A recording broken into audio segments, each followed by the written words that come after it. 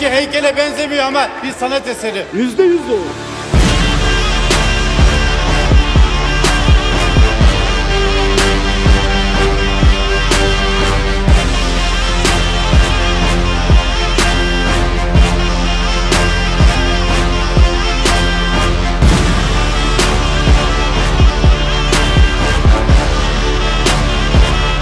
Bizi izlemeye devam edin.